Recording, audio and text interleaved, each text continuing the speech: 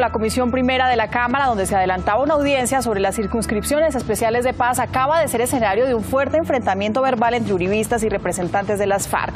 Rubén Bayona nos, nos amplía y nos cuenta qué ocasionó este enfrentamiento. Rubén.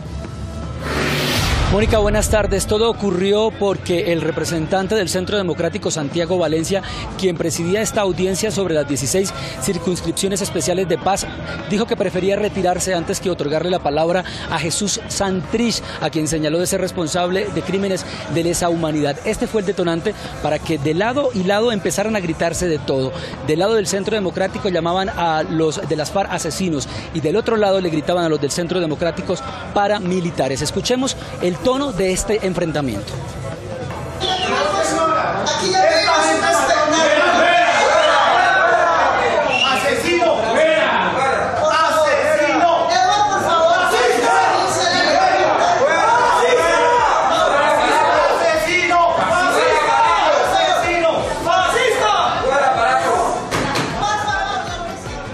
Finalmente Jesús Santrich habló por cerca de seis minutos, por supuesto, sin la presencia del Centro Democrático. Allí aseguró Jesús Santrich que estas 16 curules especiales no serán para las FARC, sino para las víctimas de aquellos territorios afectados por el conflicto armado. Es el primer cara a cara que se da en el Congreso de la República entre los representantes del Centro Democrático y también miembros de las FARC.